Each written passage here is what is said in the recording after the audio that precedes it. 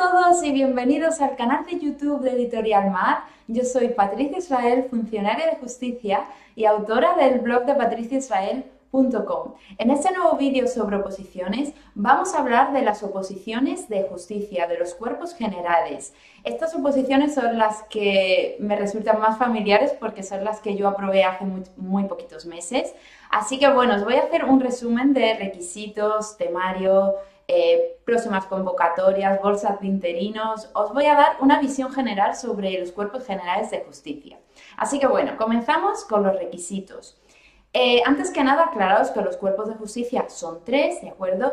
Yendo, digamos, del más superior al más inferior sería eh, gestión procesal y administrativa, lo que llamamos gestión, tramitación procesal y administrativa, lo que llamamos tramitación, y auxilio judicial, ¿de acuerdo? Entonces, los requisitos de acceso para poder presentarnos al examen. En el caso de gestión, el superior nos hace falta una diplomatura o un grado, una titulación universitaria. Da igual qué titulación sea, no es necesario ser graduado en Derecho, ¿de acuerdo? Puede ser cualquier titulación universitaria o equivalente.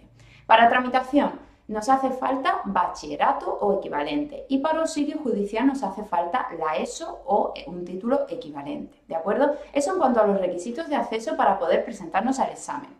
Después, los temarios. ¿Cuál es la diferencia en cuanto a los temarios eh, de estos tres cuerpos generales de justicia? Pues a ver, si consultamos el número de temas, en auxilio judicial vamos a ver que son 26, en tramitación son 31 y en gestión son 68.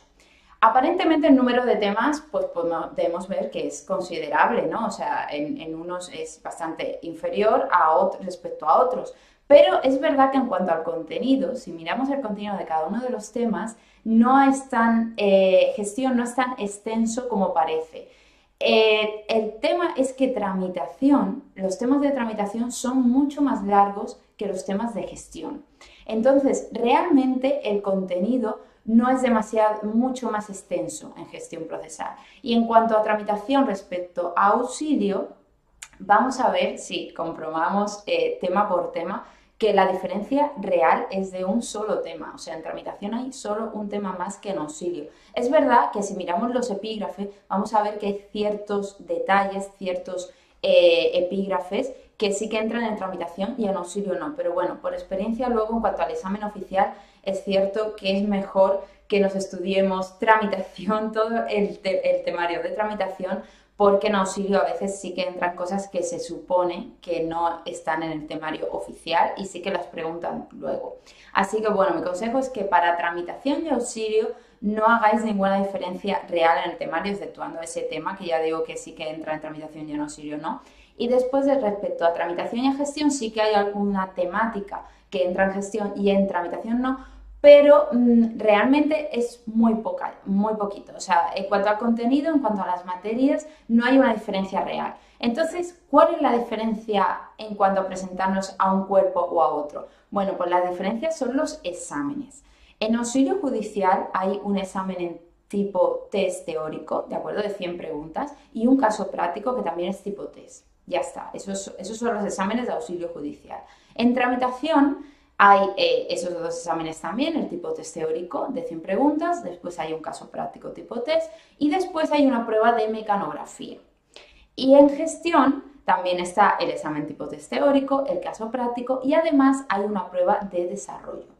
Entonces, la diferencia entre presentarnos a un cuerpo o a otro o a varios cuerpos es que nos tendremos que preparar para el examen de mecanografía en el caso de tramitación y para el examen de desarrollo en el caso de gestión. No es lo mismo estudiar para un examen tipo test que para un examen de desarrollo. Esto nos va a llevar más tiempo porque tenemos que hacer una serie de resúmenes, etc. Y por supuesto la mecanografía pues nos la vamos a tener que preparar a conciencia, vamos a tener que dedicar un tiempo. Entonces, esa es la diferencia real entre estos tres cuerpos en cuanto a presentarnos a los exámenes, ¿de acuerdo? Sí que es cierto que muchas personas que si tienen la titulación universitaria para, para llegar a gestión, pues bueno, deciden presentarse a los tres cuerpos eh, o a dos, si no tienes la titulación universitaria, tienes bachillerato equivalente, pues bueno, muchas personas se presentan a auxilio y a tramitación, porque sí que es cierto que los exámenes no suelen coincidir, por lo menos en convocatorias pasadas no suelen coincidir, es decir, en una misma convocatoria pues eh, con diferencia de una semana o varias semanas son el examen de auxilio, tramitación y gestión. Es decir, que como no coinciden en el mismo día, nos podemos presentar en la misma convocatoria a los tres cuerpos o a dos cuerpos, como decidamos, ¿de acuerdo? Eh, siempre y cuando eso, tengamos la titulación que nos piden. Bueno, en cuanto a ámbitos territoriales, aquí es un poco especial el caso de justicia. ¿Por qué? Porque las oposiciones normalmente eh, suelen ser pues, eh, de, una administración local, de una comunidad autónoma o bien a nivel estatal. Pues bien, las oposiciones de justicia van a tener eh, ciertos ámbitos que son las comunidades autónomas que sí que tienen la competencia de justicia transferida, que son la mayoría, ahora diré cuáles son, esas comunidades convocan una serie de plazas. Y si a ti te interesa quedarte en esa comunidad concreta, te tienes que presentar en la sede de examen que ponga esa comunidad y solamente te va a poder tocar un destino dentro de esa comunidad, ¿de acuerdo? Después hay otro ámbito que se llama el ámbito ministerio, el ámbito ministerio de justicia, que engloba las comunidades que no tienen la competencia de justicia transferida. Esas comunidades son las dos Castillas, Murcia, Extremadura, Baleares, Ceuta, Melilla y los órganos centrales de Madrid, que son Tribunal Supremo, Audiencia Nacional y los juzgados centrales de Madrid, ¿de acuerdo? Entonces, ¿qué pasa si a mí me interesa eh, una plaza en una de estas comunidades que he dicho que pertenecen a ámbito ministerio? Pues bien, me tengo que presentar a ámbito ministerio, pero teniendo en cuenta que me pueden dar plaza en cualquiera de estas comunidades. ¿De acuerdo? No me estoy presentando a Extremadura solo, por ejemplo, o a Murcia nada más, no. Me estoy presentando a ámbito ministerio y me pueden dar un destino en cualquiera de estas comunidades. ¿Qué pasa? Si a mí me interesa una plaza en las otras comunidades autónomas que no he dicho, es decir, Andalucía, Cataluña, eh, Cantabria, Aragón, Galicia, el resto de la comunidad de Madrid, en esas comunidades que tienen la competencia de justicia transferida, yo me voy a presentar a ese ámbito territorial, a esa comunidad, y me van a dar sí o sí vacantes, o sea, un destino en esa comunidad.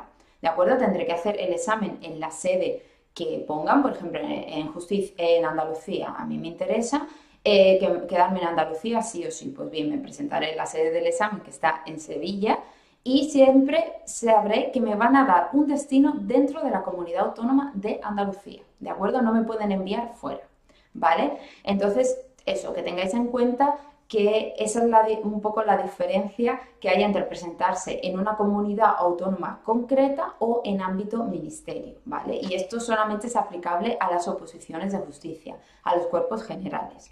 Eso en cuanto a ámbito territorial. También me gustaría comentaros el tema del concurso de traslado, porque vale, pues yo eh, me presento en País Vasco o me presento en, en eso, en ámbito ministerio, pero me dan un destino, un primer destino eh, que no está cerca de donde me interesa, de donde está mi casa, y yo me quiero mover. ¿Cuándo me voy a poder mover? Pues bien, voy a poder eh, pedir el concurso de traslado que se llama a los dos años de haber aprobado la oposición. ¿De acuerdo? O sea, tengo que estar dos años congelada, dos años en el puesto que me den como primer destino hasta yo poder pedir un concurso de traslado y poder irme a cualquier comunidad. Da igual donde me haya presentado. Ahí ya puedo pedir cualquier, eh, cualquier comunidad, cualquier municipio de, toda España, ¿de acuerdo? Y luego también me gustaría hablaros de las bolsas de interinos. Las bolsas de interinos en justicia, tú por el hecho de presentarte al examen no eh, quedas incluido en ninguna bolsa de interinos, ¿de acuerdo? Tú te presentas al examen, eh, si no apruebas, pues mm, nadie te incluye en ninguna bolsa.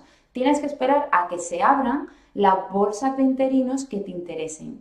Eh, se, abren por comunidades autónomas, ¿de acuerdo? Y cada comunidad autónoma decide cuándo abrir esa bolsa, cuáles son los requisitos que quieren poner, cuáles son los requisitos de acceso, que pueden ser haber aprobado eh, los exámenes en la última convocatoria, o tener un curso de informática concreto, o tener una titulación concreta. Cada comunidad autónoma eh, exige una serie de requisitos para poder solicitar entrar en esa bolsa de interinos, ¿de acuerdo? Entonces, que sepáis eso, que las de justicia tenéis que solicitarlas y tenéis que esperar a que la comunidad autónoma que os interese las abra, ¿de acuerdo? Bueno, ahora en cuanto a las próximas convocatorias, la verdad es que en justicia en los próximos años sí que va a haber eh, plazas y sí que está previsto que haya varias convocatorias. Tenemos aseguradas las de, las de oferta de empleo público de 2017 y 2018 y también las de 2019, es decir, en los próximos años va a haber eh, convocatorias de las oposiciones de justicia, de los cuerpos generales, ¿de acuerdo? Sí que es cierto que eh, la, oferta de empleo público de 2017 y 2018, que son las próximas que se van a abrir, que seguramente los exámenes serán durante 2019, aún no hay fecha, ¿vale? Se van a acumular las plazas, se van a acumular las plazas de 2017 y 2018. ¿Qué pasa con esto? Bueno, pues que va a haber muchas plazas, que va a haber una convocatoria bastante grande. Estamos hablando de solamente de turno libre, es decir, de las personas que tienen acceso desde fuera de la administración.